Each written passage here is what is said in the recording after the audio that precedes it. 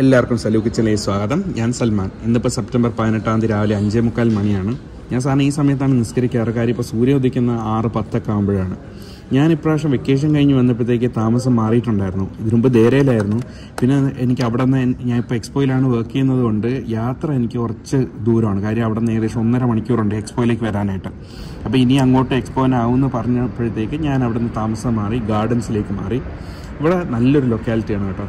എല്ലാ രീതിയിലും ആക്സസബിൾ ആണ്. വേറെ ഒരു ബുദ്ധിമുട്ടും ഇല്ല. ആവശ്യമുള്ള എല്ലാം ചുറ്റും തന്നെയുണ്ട്. മൊത്തത്തിൽ സൗകര്യം നോക്കിയപ്പം ഇഷ്ടപ്പെട്ടെടുത്ത് ഒരു പുതിയ സ്ഥലത്താണ് ഇപ്പോൾ താമസിക്കുന്നത്. രാവിലെ കുറച്ച് പണിയൊക്കെ ഉണ്ടായിരുന്നു. അതൊക്കെ കഴിഞ്ഞ് കുളിച്ച് ഫ്രഷായി വന്നപ്പോഴാണ് റൂമിലുള്ളവർ പറഞ്ഞത് എനിക്കൊരു ബോക്സ് വന്നിട്ടുണ്ടെന്ന് എനിക്ക് ആ സംഭവം കണ്ടപ്പോഴേ മനസ്സിലായി ഇത് എവിടെ നിന്ന് വന്നു എന്ന്. നാട്ടിൽ നിന്നുള്ള ഒരു പാക്കേജ് തന്നെ ആയിരുന്നു ഇത്. കണ്ട? ഇതായിരുന്നു സംഭവം. പക്ഷേ ആരും അടുത്തില്ലെങ്കിൽ എന്താ ആഘോഷം? രാവിലെ ഇവരെ എല്ലാവരെയും വീട്ടിലുള്ളവരെയൊക്കെ വിളിച്ച് സംസാരിച്ചു. ഇതാ നമ്മുടെ ഇപ്പൊ കാണുന്നത് J L T cluster Marina ബീച്ചുമാണ് ഈ സൈഡിലായിട്ട് വരുന്നത്. നമ്മുടെ മറുവശത്തെന്ന് പറയുന്നത് ഇബിൻ ബത്തൂത്ത മോളൊക്കെയാണ്. ഇവിടെ ഇങ്ങനെ നോക്കിക്കമ്പാനും സമയം പോണത് അറിയൂല. പിന്നെ അതൊക്കെ കഴിഞ്ഞ് എന്റെ പ്രധാന ടൈം പാസ് എന്ന് പറയുന്നത് ഇപ്പം ഓഫീസിൽ പോയി പണിയെടുക്കുക എന്നുള്ളത് തന്നെയാണ്.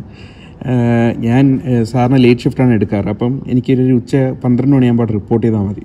ഇപ്പോഴത്തെ യാത്രയിൽ ഏറ്റവും വലിയ പ്രത്യേകത എന്ന് വെച്ചാൽ ഇപ്പോൾ എക്സ്പോ വീണ്ടും തുറന്നു വരുന്നതേ ഉള്ളൂ. മെട്രോയിൽ മിക്കപ്പോഴും ഞാൻ മാത്രമായിരിക്കും. എനിക്ക് വേണ്ടി ഓടുന്ന മെട്രോ പോലെയാണ്.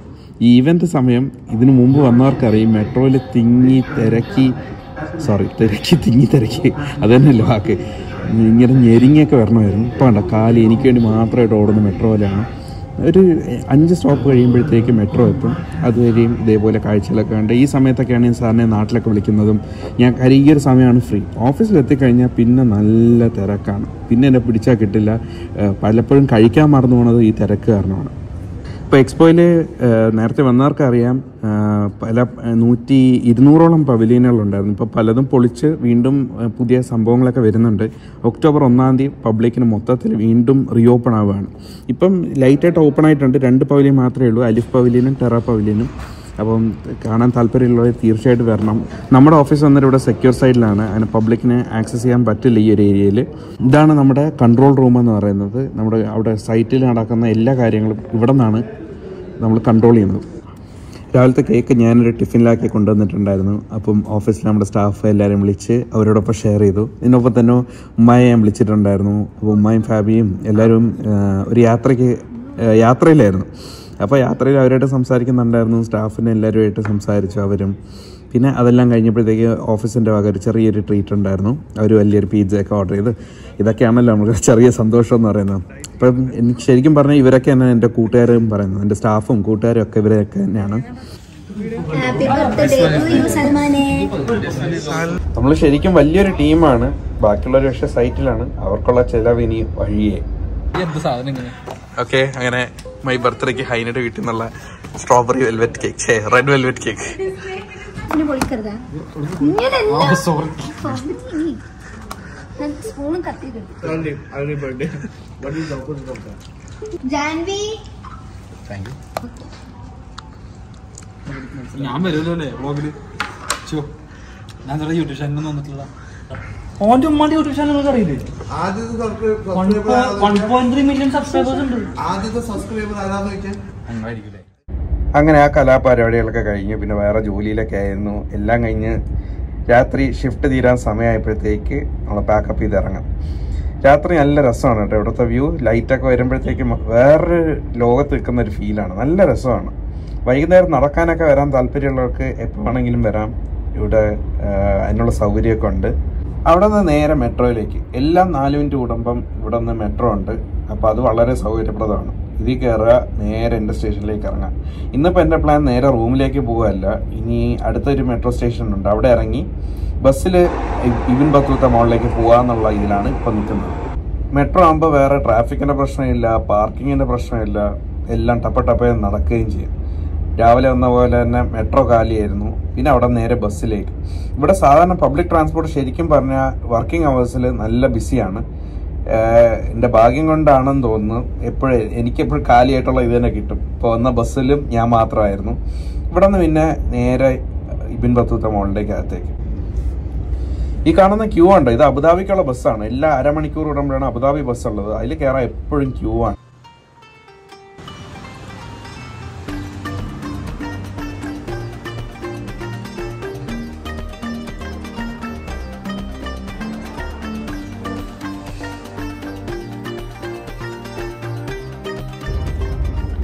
ഇവിടെ നല്ല രസമാണ്. ചുമ്മാ അങ്ങോട്ടും ഇങ്ങോട്ടും നോക്കി നോക്കി ഇങ്ങനെ നടക്കാം ഓരോ സാധനങ്ങൾ.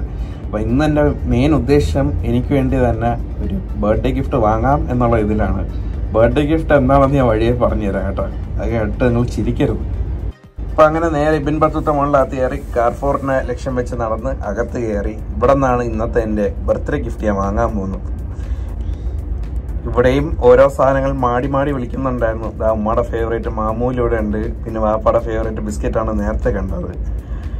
പിന്നെ ഇവിടെ ഇപ്പോൾ ഞാൻ പുതിയ സ്ഥലത്ത് മാറിയപ്പോൾ ഈ കുറേ സാധനങ്ങൾ എനിക്ക് വാങ്ങാനുണ്ടായിരുന്നു വീട്ടു സാധനങ്ങൾ. അപ്പോൾ ഞാൻ ഇതാ വാങ്ങാൻ പോയ എന്റെ ബർത്ത്ഡേ ഗിഫ്റ്റ് ഇതാണ്. ഒരു തേപ്പ് വെട്ടി. എന്റെ കയ്യിൽ ഇരുന്ന അയൺ ബോക്സ് വർക്ക് ചെയ്യുന്നില്ലായിരുന്നു. അപ്പോൾ അങ്ങനെ ഇനി നാളെ ഓഫീസിനെല്ലാം തേച്ച ഷർട്ട് ഇട്ടുകൊണ്ട് പോകണമെങ്കിൽ അയൺ ബോക്സ് വാങ്ങണം. അയൺ ബോക്സ് വാങ്ങി അടുത്ത സെക്ഷനിൽ വന്നപ്പോഴാണ് ഓർത്തത് കുക്കറിന്റെ ഒരു സെറ്റും കൂടെ വാങ്ങണം. അങ്ങനെ അതും എടുത്തു.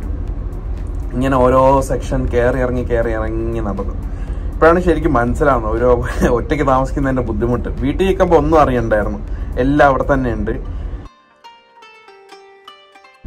പിന്നെ സൈക്കിൾ സെക്ഷൻ വഴി പോയി. അവിടെ എന്തെങ്കിലും പുതിയ സാധനങ്ങൾ വന്നിട്ടുണ്ടോ എന്ന് നോക്കാം. സൈക്കിൾ എന്തോ ഒരു വീക്ക്നെസ് ആണ് എന്റെ ഫസ്റ്റ് സാലറിക്ക് ഞാൻ ഒരു സൈക്കിൾ വാങ്ങിച്ചു. പക്ഷെ അത് ഓടിക്കാൻ പറ്റിയില്ല. ഇനി ഇനി വേണം അതൊക്കെ ചവിട്ടി തുടങ്ങാനായിട്ട്. പിന്നെ സാലഡാണ് ഞാൻ മിക്ക ദിവസവും ഉണ്ടാക്കിക്കൊണ്ട് പോകാറ്. അപ്പൊ അതിന് വേണ്ടിയിട്ടുള്ള ഡ്രസ്സിങ്ങും പിന്നെ ബാക്കി സാലഡിനുള്ള സാധനങ്ങളൊക്കെ എടുക്കാനാണ് ഈ സെക്ഷനിലേക്ക് വന്നത്. ഇതൊരു നോസ്റ്റാലജിയ ജ്യൂസാണ് സൺ ടോപ്പ് സൺ ടോപ്പിന്റെ ഓറഞ്ച് ഇപ്പൊ ഇഷ്ടം പോലെ ഉണ്ട് ഇപ്പൊ മാംഗോ മിക്സ്ഡ് ഫ്രൂട്ട് അങ്ങനെ പല ടൈപ്പിലാണ് ഇപ്പൊ നമുക്ക് വാങ്ങാൻ കിട്ടുന്നത്.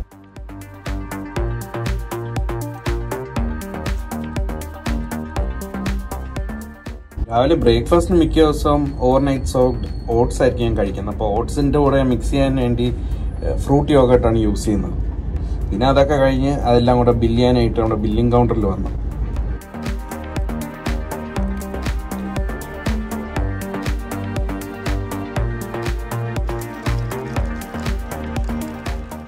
ഇതൊക്കെ കഴിഞ്ഞ് പുറത്തിറങ്ങിയപ്പോഴാണ് അറിയുന്നത് മോൾ അടയ്ക്കാൻ സമയമായിരുന്നു. രാത്രി പന്ത്രണ്ട് മണി കഴിഞ്ഞിരുന്നു. അപ്പം അങ്ങനെ എല്ലാവരെയും പുറത്തിറക്കിക്കൊണ്ടിരിക്കുകയാണ്. നോക്കിയപ്പോൾ ഞാനാണ് ലാസ്റ്റ് കസ്റ്റമർ അപ്പോൾ ഇവിടെ നിന്ന് ഇനി നേരെ പുറത്തേക്ക് ഇറങ്ങണം. ആദ്യമായിട്ടാണ് ഒരു വലിയൊരു മോൾ ഇതേപോലെ കാലിയായിട്ട് കാണുന്നത് കേട്ടോ. നോക്കിയപ്പോഴത്തേക്ക് പിന്നെ രാത്രി ബസ് സർവീസ് ഉണ്ട്. പന്ത്രണ്ട് മണിക്ക് ശേഷം ബസ് സർവീസ് വളരെ കുറച്ചേ ഉള്ളൂ. പിന്നെ എന്റെ കയ്യിൽ ഇത്രയും സാധനം കൂടെ ഉണ്ട്. അപ്പം പിന്നെ ടാക്സിയിൽ പോകാമെന്ന് കരുതി. അങ്ങനെ ടാക്സിയിൽ സാധനം എല്ലാം വെച്ച് ടാക്സി കയറി.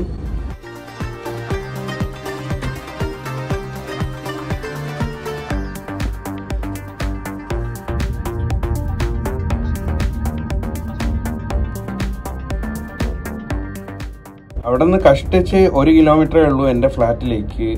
കണ്ണടച്ച് തുറന്നപ്പോഴത്തേക്ക് ഇതാ ഫ്ലാറ്റും എത്തി. അപ്പോൾ ഇതൊക്കെയേ ഉള്ളൂ എന്റെ ഇന്നത്തെ ബർത്ത്ഡേ വിശേഷങ്ങൾ. വളരെ അധികം വിശേഷങ്ങളൊന്നും ഇല്ലെന്നറിയാം ഉള്ള വിശേഷങ്ങൾ ഞാൻ മാക്സിമം ഷെയർ ചെയ്യാൻ ശ്രമിച്ചിട്ടുണ്ട്. അപ്പം വീഡിയോ ഇഷ്ടപ്പെട്ടാൽ ലൈക്ക് ചെയ്യുക ഷെയർ ചെയ്യുക ചാനൽ സബ്സ്ക്രൈബ് ചെയ്യുക.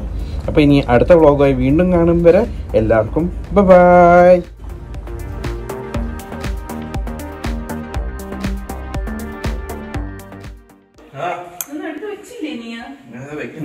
ഇത്രയും സാധനങ്ങളോടെ ഒരു ഹോസ്റ്റലിൽ പോണേന്. അല്ല അത് വണ്ടി പോണോണ്ടാണ്. ഞാൻ ആ സാധനം ആ, മറ്റേ അല്ലാതെ കയ്യിൽ എടുക്കണ്ടെന്ന് വിചാരിച്ചിട്ടാണ്. ചെരുപ്പിന് വേണ്ടി ഒരു ബാഗ് കമ്പ്യൂട്ടറിന് ബാഗ്.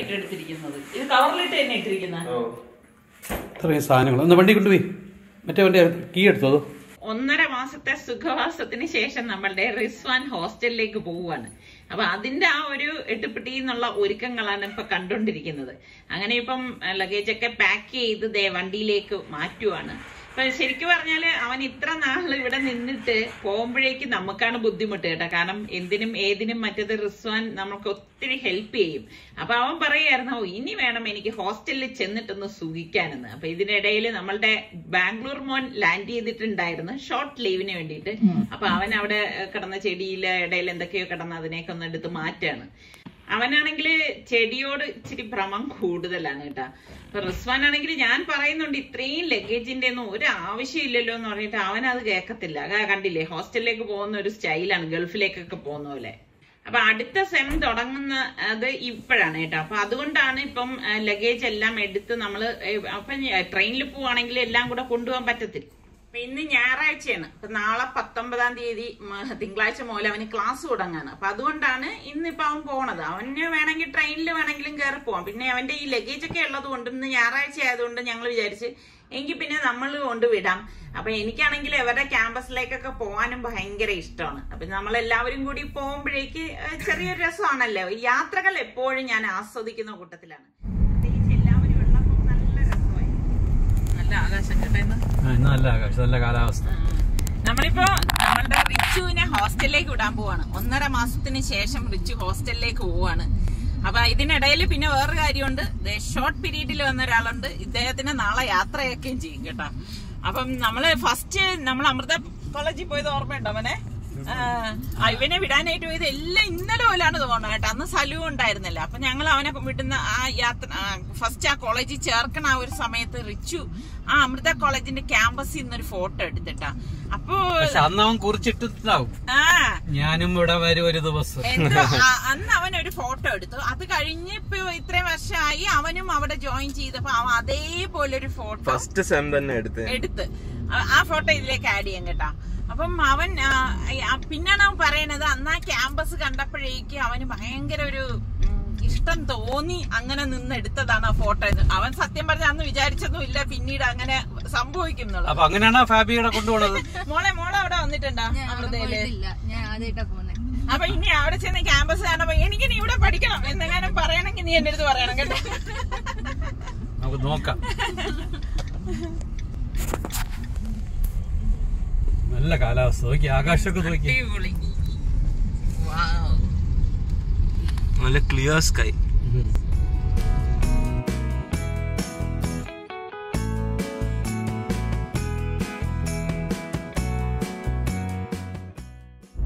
ഇന്ന് സെപ്റ്റംബർ എയ്റ്റീൻത് നമ്മുടെ സലുവിന്റെ ബർത്ത്ഡേ ആണ്. അപ്പൊ നമുക്ക് എല്ലാവർക്കും കൂടി സലുവിനൊന്ന് വിഷ് ചെയ്യാം. ഹാപ്പി ബർത്ത്ഡേ സലുവിന് വേണ്ടിയിട്ട് പ്രാർത്ഥിക്കണം.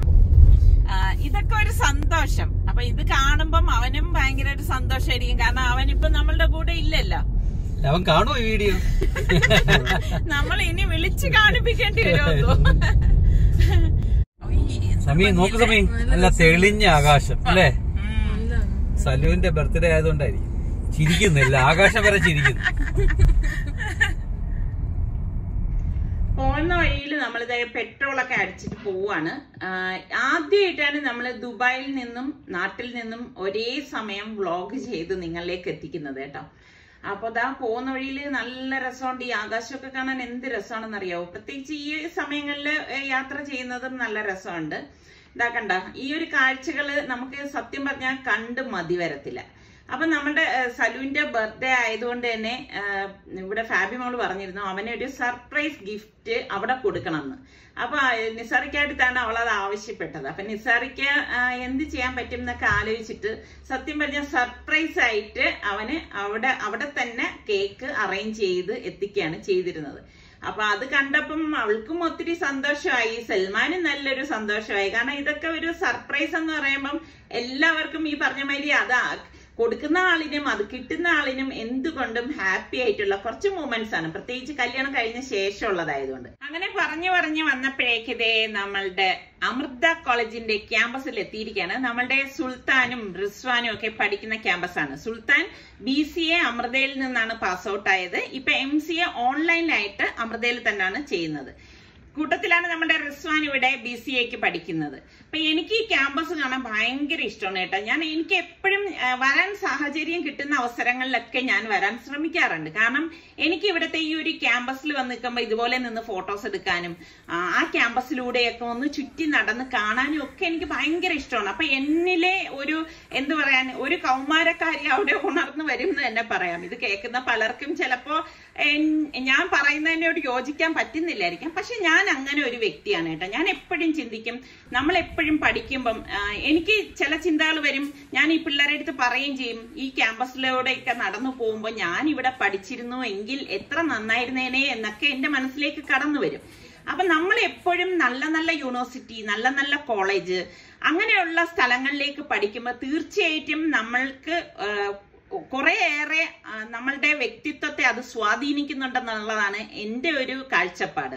ശരിക്കും നമ്മൾ ഇതുപോലെയുള്ള ക്യാമ്പസുകളിൽ പഠിച്ചിറങ്ങിയ ശേഷമായിരിക്കും നമ്മൾ മനസ്സിലാക്കുന്നത് നമ്മളുടെ ജീവിതത്തെ അത് എത്ര സ്വാധീനിച്ചിട്ടുണ്ടെന്നുള്ള കാര്യം. കാരണം അങ്ങനെ ഒരു വ്യക്തിയാണ് നമ്മളുടെ സുൽത്താൻ കേട്ടോ. അപ്പൊ സുൽത്താന് ഇവിടെ പഠിച്ചതുകൊണ്ട് തന്നെ നല്ല പ്ലേസ്മെന്റും നല്ല ഒരു ജോബും കിട്ടാനൊക്കെ അവസരം ഒത്തിരി ലഭിച്ച ഒരാളാണ്. അപ്പം ഒത്തിരി പ്ലേസ്മെന്റ് ഇവിടെ വരുന്നുണ്ട്. അപ്പൊ അതുകൊണ്ട് തന്നെ ആ- ഒരു രീതി മനസ്സിലാക്കിയാണ് നമ്മുടെ റിസ്വാനും ഇവിടെ തന്നെ ടെസ്റ്റ് എഴുതി ഇവിടെ തന്നെ ജോയിൻ ചെയ്തത്. അതുപോലെ ഇവിടെ വന്ന് കാണുമ്പോൾ എന്ത് രസമാണെന്ന് അറിയാം? അപ്പൊ മോൾ ഇവിടെ വന്നിട്ടില്ല എന്ന് പറഞ്ഞു. അങ്ങനെയാണ് മോളെ കൂട്ടിയിട്ട് നമ്മൾ ഇവിടെ വന്നത്. ഈ ഒരു ക്യാമ്പസ് ഒക്കെ ഞാൻ കാണിച്ചു കൊടുക്കാണ്. അപ്പൊ അവൾക്കും ഭയങ്കര ഇഷ്ടപ്പെട്ടു. അപ്പം ആര് കണ്ടാലും ശരിക്കും പറഞ്ഞാൽ ഇഷ്ടപ്പെടുന്ന ഒരു ചുറ്റുപാട് തന്നെയാണ് ഇവിടെ ഉള്ളത്. ഇത് കേൾക്കുന്ന നിങ്ങൾക്ക് തോന്നും ഞാൻ കോളേജിന്റെ പരസ്യം ഏതാണ്ട് പറയാണെന്ന്. പരസ്യമൊന്നുമല്ല ശരിക്കും പറഞ്ഞാൽ ഇത് മനസ്സിൽ തട്ടി നമ്മൾക്കുണ്ടായ അനുഭവങ്ങളാണ് ഞാൻ ഇവിടെ നിങ്ങളുമായിട്ടൊന്ന് ഷെയർ ചെയ്തത് കേട്ടോ.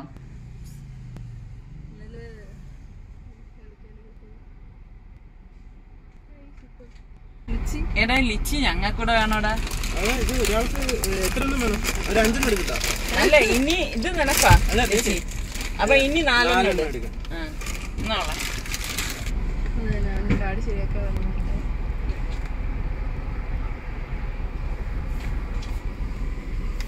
താങ്ക് യു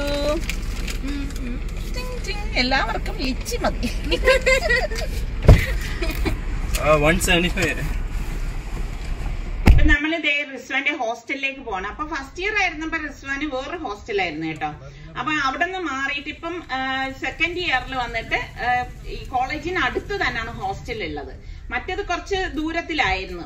പാലം കടന്നൊക്കെ വേണം പോവേണ്ടിയിരുന്നത്. അപ്പൊ ഇത് വളരെ അടുത്തായതുകൊണ്ട് തന്നെ പിള്ളേർക്കും എളുപ്പമാണ് പോയി വരാനും ഒക്കെ അപ്പൊ ഇതാണ് ശരിക്കും പറഞ്ഞ ഒരു യൂണിവേഴ്സിറ്റിയിൽ കയറിയതുപോലെ തന്നെയാണ് ഇവരുടെ ഹോസ്റ്റലിനുള്ളിലേക്ക് കയറുമ്പോഴേക്കും നമുക്ക് ഫീൽ ചെയ്യുന്നത് കേട്ടോ.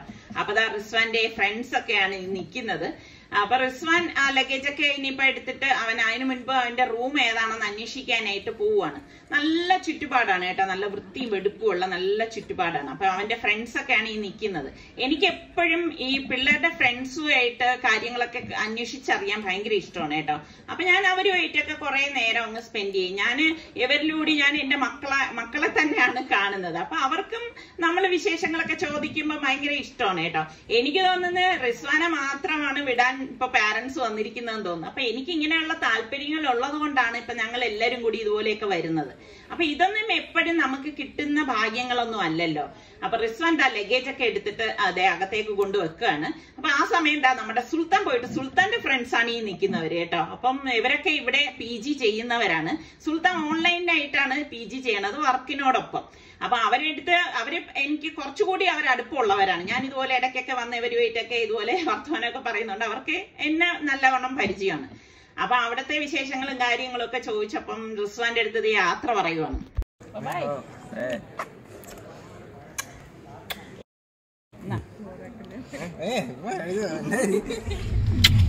നാണം കേട്ട് ബൈ ബൈ കരയല്ലേ മോനെ? കേട്ടാ?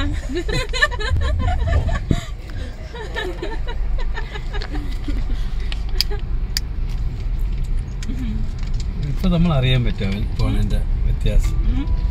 ഉള്ളപ്പോഴേ നമ്മൾ അറിയില്ല എന്ന്. അവന് കുഴപ്പമില്ല. അവന് കൂട്ടുകാരൻ ഹാപ്പി അങ്ങനെ നമ്മളെ റിസ്വാനെ യാത്രയാക്കിയിട്ട് ദയ മടങ്ങി പോവാണ്. ശരിക്കും പറഞ്ഞ ഇത്ര അടുത്ത് തിരുവനന്തപുരം കൊല്ലം അധിക ദൂരം അല്ലെങ്കിലും ഇതുപോലെ അവനെ വിട്ടിട്ട് യാത്രയായി പോകുമ്പോ ഭയങ്കര വിഷമമാണ്. കാര്യം എന്താണെന്നറിയോ? നമ്മുടെ വീട്ടിൽ ഞാൻ നേരത്തെ പറഞ്ഞതുപോലെ എന്ത് കാര്യത്തിനും നമ്മൾ റിസ്വാൻ റിസ്വാൻ എന്ന് പറയുമ്പോ അവൻ ഓടി വന്ന് നമ്മളെ ഹെൽപ്പ് ചെയ്യുന്ന ഒരു മെന്റാലിറ്റി ആയതുകൊണ്ടാണ് അവൻ നമ്മളിൽ നിന്ന് മാറി നിൽക്കുമ്പോൾ നമുക്കൊരു വിഷമം വരുന്നത്.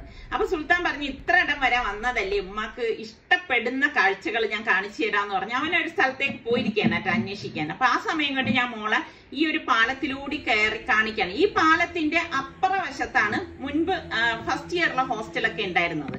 അപ്പം അവിടെ നിന്ന് കാണുമ്പോഴുള്ള കാഴ്ചയാണ് ഇത് കേട്ടോ. കായലിലൂടെ ഇങ്ങനെ വള്ളങ്ങൾ പോണതും ബോട്ട് പോണതും ഒക്കെ കാണാൻ സാധിക്കും. നല്ല രസമുള്ള എന്തൊരു ഭംഗിയാണെന്ന് പറയോ. പ്രകൃതി രമണീയമായ ഒരു സ്ഥലം എന്ന് തന്നെ പറയാം. ഒരുപാട് കാലമായി വള്ളത്തിൽ പോയിട്ട് ഒരുപാട് കാലം എന്ന് പറഞ്ഞാൽ ഒരുപാട് കാലം. വള്ളം കണ്ടപ്പോ എന്തായാലും വള്ളത്തിലൊരു യാത്ര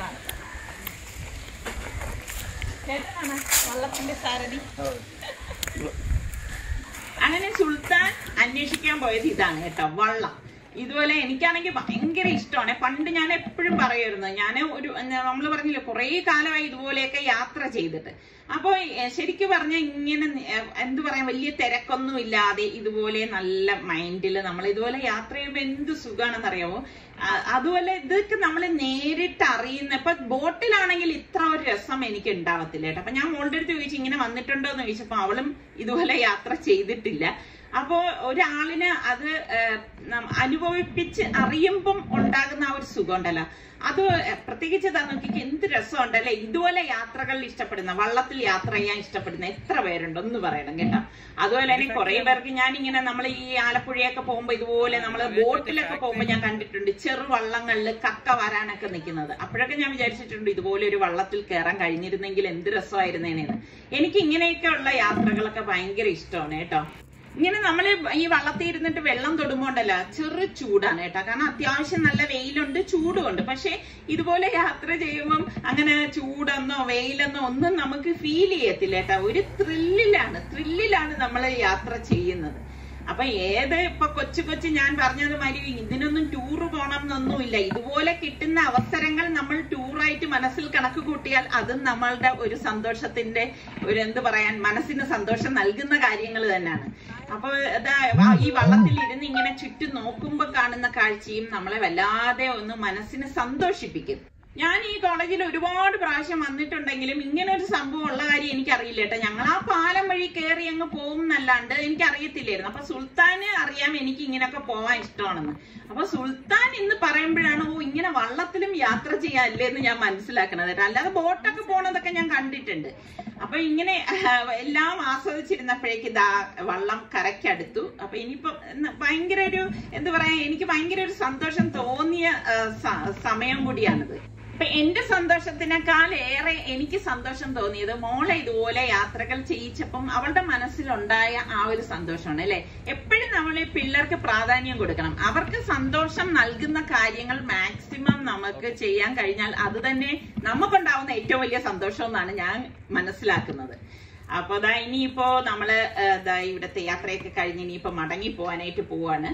അപ്പൊ ഇന്നത്തെ ഈ എപ്പിസോഡ് നിങ്ങൾക്ക് എല്ലാവർക്കും ഇഷ്ടമായെന്ന് വിശ്വസിക്കുന്നു. അപ്പൊ സബ്സ്ക്രൈബ് ചെയ്യാതെ കാണുന്ന ആരെങ്കിലും ഒക്കെ ഉണ്ടെങ്കിൽ നിങ്ങൾക്ക് നമ്മളുടെ ചാനൽ ഇഷ്ടപ്പെടുകയാണെങ്കിൽ സബ്സ്ക്രൈബ് ചെയ്യാനും ആ ബെല്ലൈക്കൺ പ്രസ് ചെയ്യാനും ഒന്നും മറന്നു വരുതേ അതിൽ ഓൾ എന്നൊരു ഓപ്ഷൻ കാണും. അതും കൂടി ക്ലിക്ക് ചെയ്താലേ നിങ്ങൾക്ക് നോട്ടിഫിക്കേഷൻ കിട്ടത്തുള്ളൂ. അടുത്ത നമുക്ക് നല്ല റെസിപ്പിയോ വ്ളോഗായിട്ടൊക്കെ കാണുന്നത് വരെ എല്ലാവർക്കും ബൈ